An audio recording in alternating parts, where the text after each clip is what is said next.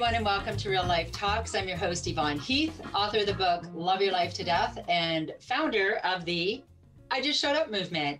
So I am absolutely delighted. I had, I kind of tricked my new friend Ken into coming back for a second show. Um, I'm here with Ken Ross for the second time. He is um, just an incredible human who is um, the president and founder of the Elisabeth Kubler Ross Foundation and just happens to be the son of the late Dr. Elisabeth Kubler Ross, who was the pioneer of talks. Uh, talking with patients who were dying and she wrote a book on death and dying changed the world, influenced my nursing career and the career of millions of people. And um, I'm just we had our conversation. I said, I'm sorry, we have more to talk about. So I'm going to stop talking so that you can talk. Hello, Ken. How are you doing today? I am good, enjoying life as usual. Yeah. Perplexed by it, but embracing it too. well, and that's yes, it's kind of like that, isn't it? And I did comment uh, before we were on camera, but I have to say, um, you have created this incredible, beautiful space uh, to have these ta- uh, these conversations. And I want everybody to know that when they see the back, that is your photography, isn't it? Yes, I've uh, been privileged and spoiled to uh, travel to 101 countries so far in my life, and you know, my mom taught me to see the world before I leave it. So here I am see the world before you leave it. I love that so much. And and you're you have a website and your photography is just it, it's just captivating. And so i just it's just so striking. I'm really really pleased to see them up on your wall and not in a closet as you exactly said they where they were for so long so. yes yes. So um, when we had our conversation um, earlier uh, we were talking about your life and uh, traveling with your mother the I mean, her her life, the incredible life of Dr. Elisabeth Kubler Ross, was a doctor and uh, started having conversations with dying patients, and she she truly changed the trajectory of of how we how we see end of life, and um, and then I mean, she just did so much more than oh, there goes one of your cats. She just did so much more than any of us know, or many of us know. And so I needed to bring you back to say her work was not just on death and dying. Her work was not just having these conversations. She was so much more. And the world needs to know this. And that's part yeah. of your mission, isn't it? Exactly. You know, people are pigeonholing my mother, you know, between either on death and dying or the five stages. You know, oh, mom, your Ken, your mom did that one great book. I'm like, well, you know, she did a lot more than that, but yes, I didn't know her for something. But you know, yeah, nice if you thought of her as you know the hospice pioneer, palliative care pioneer, you know, absolutely, who changed bioethics in Western culture in medicine. And and I will tell you right now, I am one of those people. I was a nurse and nursing as nursing student. I read the book uh, on death and dying, and yes, I, Eliz- Dr. Elisabeth Kubler Ross. Here is her her one great book. My mother, who is a nurse, had read it many years before in her studies, and I was just absolutely oblivious to all that she brought. And we must talk about, you know, the elephant in the room. There it is. the five stages of grief that the right. whole they I said the whole world just took those and ran with them. Mm-hmm. And and I I'm just I stole some uh, I watched our talk again and some of the things that her message was that grief was made up of different components, which was radical thinking Right. She wanted to start the conversation, not end it. Exactly. And she wasn't saying there's five stages of grief for everything you go through and that's it. She was saying it was complex. We have to talk yeah. about this. Yeah. So, you know, she said, let's have a conversation. This is a good place to start.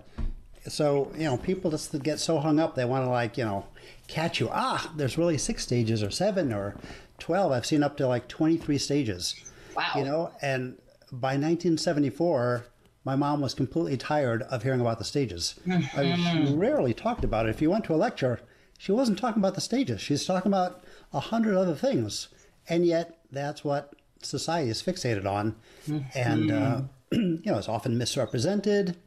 And people are like, "Oh, she was wrong. It wasn't linear," even though she said it wasn't linear. No. People get hung up on the kind of social media popular media, you know, I saw it on 30 Rock, and that's not the way it is. I'm like, well, right, that's not the way it is.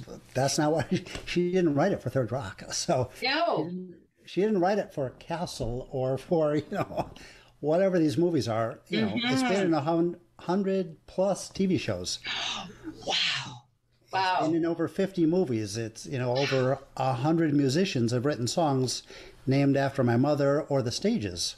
My you know, so obviously it's resonated with people. Mm-hmm. But you know, kind of the higher you go, the more you get shot down. So, wow, that is incredible. I was yeah, I was watching Grey's Anatomy. yeah, well, I was watching Grey's Anatomy the other night, and it was on. I'm like, oh, I have to tell Ken this. right, exactly. Like, no, no, it's not. Right. Yeah, and in Grey's Anatomy, they say there are five stages. There are five stages. Well, like we want the gospel.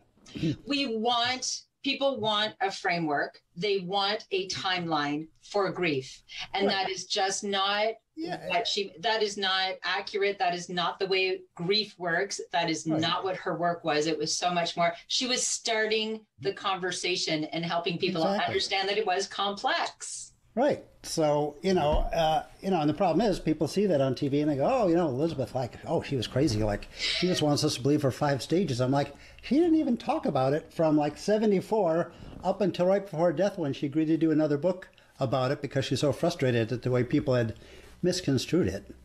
I uh, I just yeah, love being in the know. yeah, it's meant to be a loose guideline to one concept of dealing with grief. Uh, yes. And yes, it was written about dying patients initially, but even if you look in on Death and Dying from 69, she begins to have the idea that it applies to the families and the staff as well. And in her second book in 1972, she said that. So when people say Elisabeth never meant it to, I'm like, well, you know, if you look at her book, she clearly says, oh, this applies to blind people. This applies to the families, you know.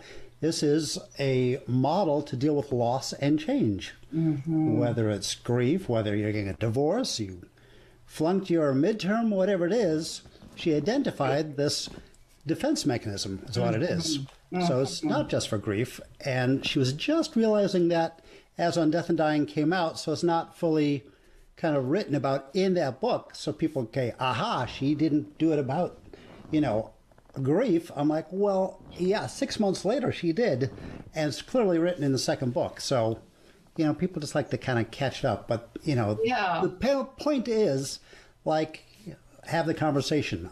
You know, if you like other models, that's great. If you don't believe in models, that's great. If, if you, you know, but the stages have helped millions of people. I mean, you look online, there's tens of thousands of articles saying, yes, I went through the stages.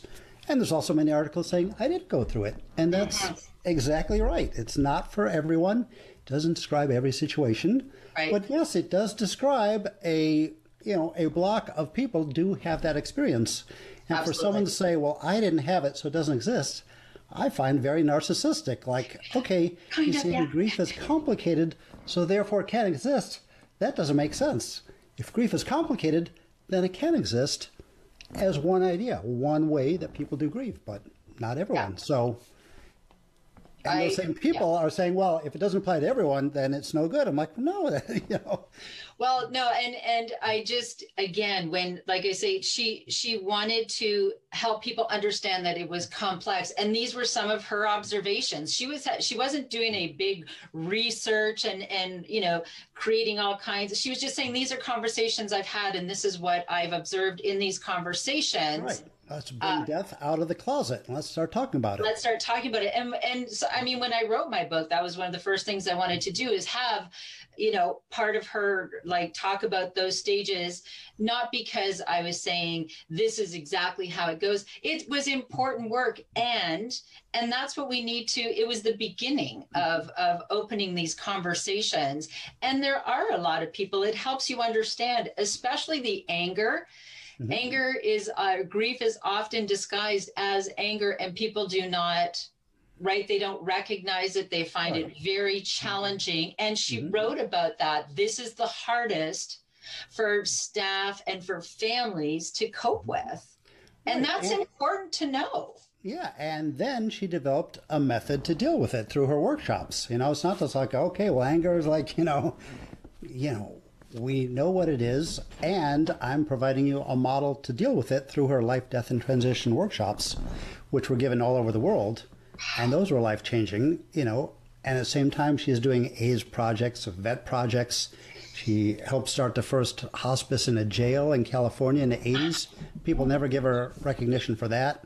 She was seeing patients, you know, she had a, a working farm.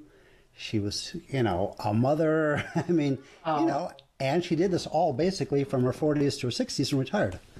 I mean, that's just it's so incredible, and I, am honored to to bring a voice to this, you know, bigger picture than so many of us recognize. And so, uh, of the 24 plus books that mm-hmm. she's written. I will encourage everybody go learn more about Dr. Elisabeth Kubler Ross because there's just so much. And I love that you've taken the reins of the foundation. People can learn so much about her work if they go to the website, right? Is that? Yeah. Yeah. And, and we have websites in English, Spanish, Portuguese, Flemish, French, and Japanese, I believe, right now. Oh my goodness! And we're working on some other projects because we're really about you know going after cultural diversity and providing vehicles for people to deal with grief in other cultures, not just in America, but in other cultures as well, of course. Well, that is so extraordinary, and I know you're very passionate about real in realizing that people die horribly all mm-hmm. over the world right? And so your goal is to grow this, in, continue to grow this internationally, and and change that in countries all over the world. I mean, how yeah, we're amazing! Very excited that you know it's taken a long time, but I think we've we're getting a lot of traction now. And uh, I can't remember if I mentioned it last time. We're starting the very first freestanding hospice in Rio. Oh. It's like, how can Rio not have a hospice? I mean, one of the yeah. biggest cities in the world. Right. You know, it's just shocking at the lack of care, and people just don't realize. They assume everyone has these services, and they don't. It's yes. And so once again, you're being a voice by saying, listen, these wonderful and, and hospice has, and palliative care has been a tremendous movement and in North America, in different countries, and it isn't everywhere right it is mm-hmm. not everywhere and so we have to start somewhere and i have I, I i just want to say to you once again thank you for taking the reins and and being a voice because i'm sure mm-hmm. it's not always easy no, it's not but you know i mean you're one of those voices out there too it's it's mm-hmm. challenging because people don't like to talk about the d word right Death. oh the d word yes exactly so Exactly. Well, I know I had someone when I wrote my book, Love Your Life to Death, she said, Why did you put the word death in there? That's not very, people don't want to read that. And I said, Well, that's why I wrote the book. Because exactly. people that's are, the whole you know, point. that's the whole point. They're scared to death of death. And your mom's for, on death and dying. This is what we're talking about. Mm-hmm. And um, I just, it's just such, it's just such rewarding, extraordinary work. And when people instead of allowing their fears to stop them and to embrace them have these conversations diffuse the fear because i'm sorry everybody dies. We exactly. all are going to face our death or the death of a loved one. And you know most likely more than one person that you care about will die. Do we not want to be a part of that? Can we do it? You know we can do death better. And that starts with ha- with having these conversations, right? And being able to just show up at that bedside in the dying process. Mm-hmm. I mean, mm-hmm. like your mother, her dying, her, her, her illness or chronic illness, or, you know, after her stroke was nine years. Mm-hmm. That is a long journey. Yes, it is. So she has more lessons to learn. Yeah, apparently she had a lot, and and you did, and and I know I have no doubt in those nine years she she taught many people many things, oh, right? Yeah. She taught them compassion and patience and and all of the other things. Um, well, she had three books come out in the last nine years. I mean, this is when she was like retired and paralyzed. oh my god!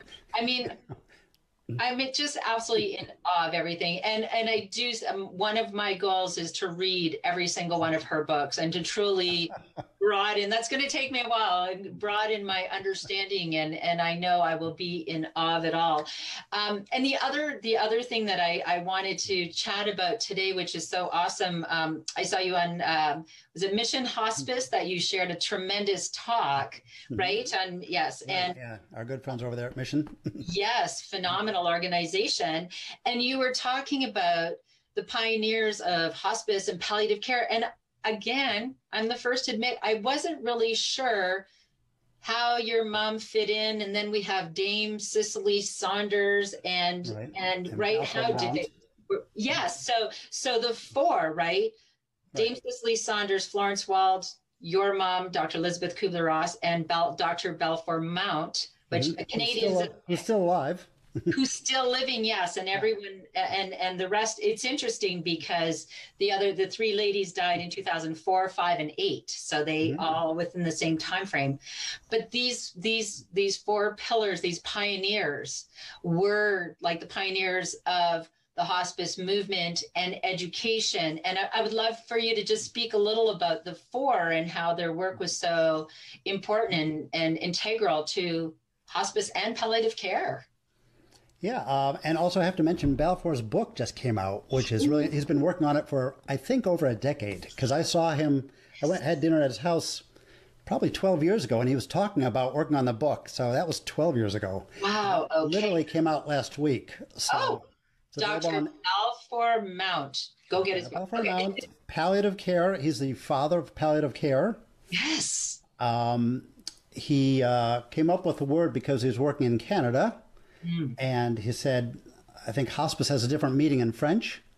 So he decided, he looked up Latin roots and things and decided palliative care was a good word to use okay. for seriously ill people. Mm-hmm. Not dying people. right. Another thing. seriously ill people. So used, yes. don't be scared of getting palliative care. Doesn't mean they're pushing you out the door here. so. It's for anyone with a life limiting disease to increase the quality of their life. exactly and includes pain control. Very important. You want pain control. Yes, that is a big distinction. Yeah, you want people who understand what you're going through, and there's different ways of approaching it that you don't necessarily get with standardized care in a, in a hospital. So Absolutely. you want palliative care. Want That's your care. friend. Absolutely. So uh, what's interesting. Um, is the similarities between Dame Cicely Saunders, who started the very first modern hospice yes. Um, in London in 67, and uh, my mom Elisabeth, because both of them were heavily influenced by Polish immigrants. Uh, Dame Cicely Saunders had a Polish immigrant who was dying, fell in love with him, and upon his death, uh, he left her some money, which he used to go into medical school because she realized unless you got those little letters after your name, she's not going to be able to do what she wanted to do. Mm.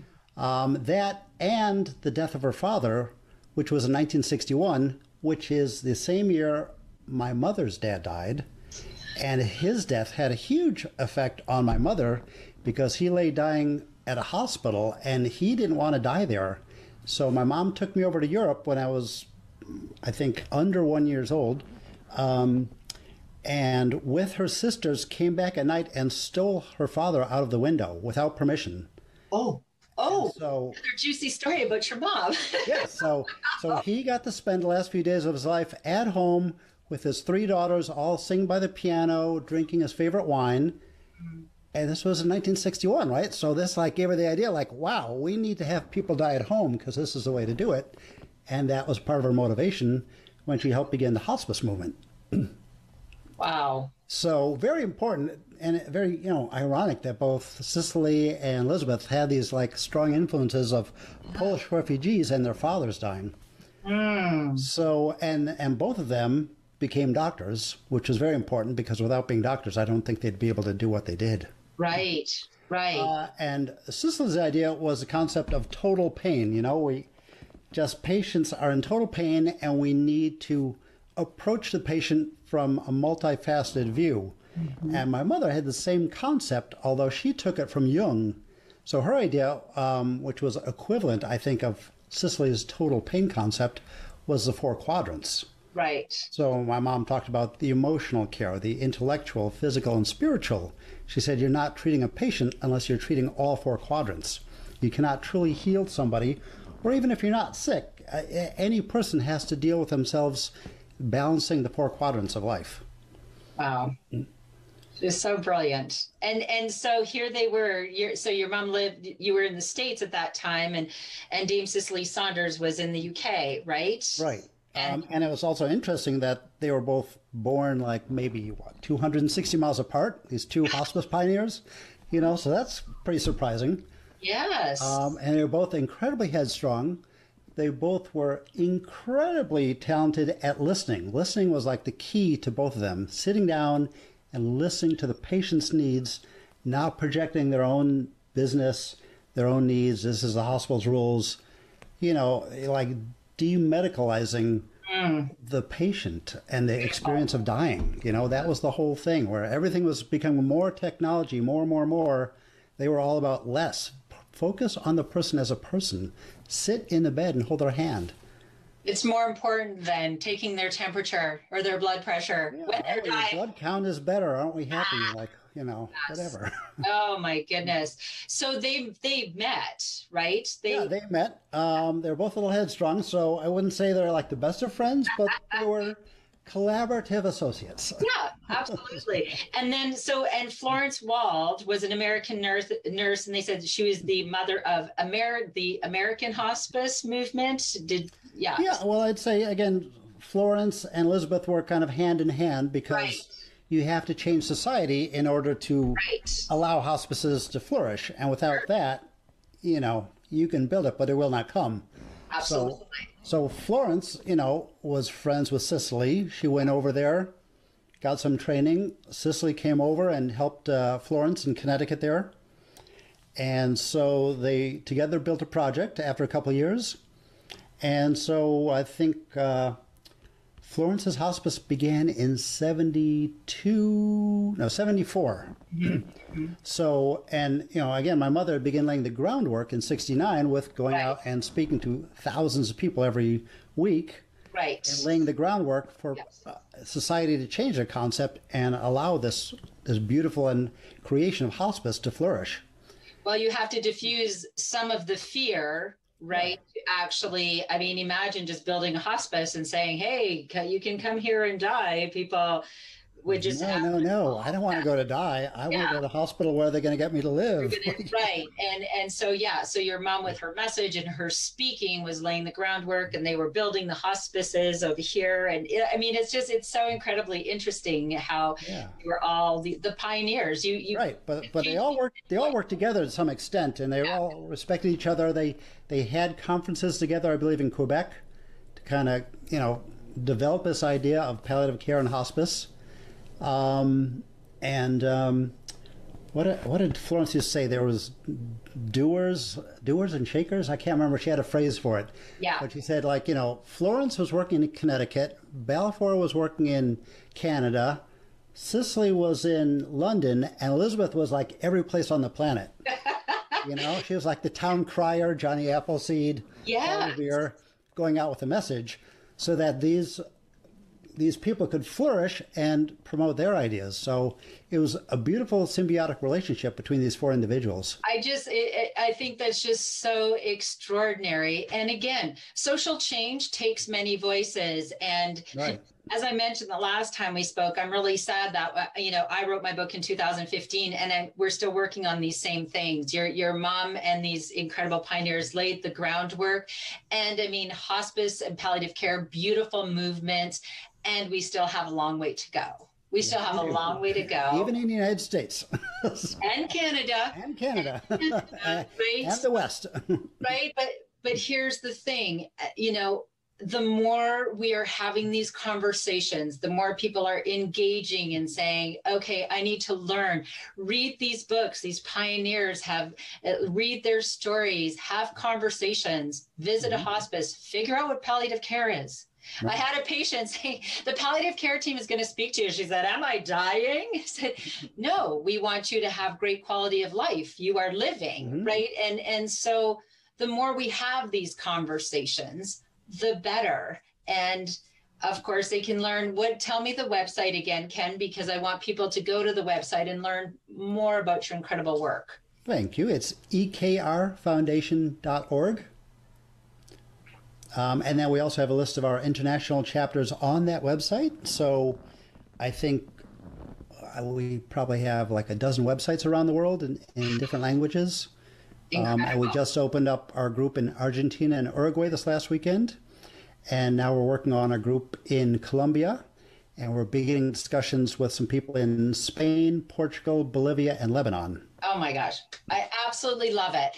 So, and I knew this would fly by. We only have a few minutes. Can you just, is there one just brief, wonderful glimpse or story you can share that um, in your travels with your mom that just really touched your heart and uh, is you know i mean i'm sure there's hundreds of stories because you're doing this to honor your mother's work but is there something mm-hmm. you'd like to share a great story well I always, always found it amazing because here was like a Swiss woman working in America, talking about death like something people didn't talk about, and but something you know, and other people have done, you know, incredible books on death and dying. I, I don't know, like for example, are you familiar with this book?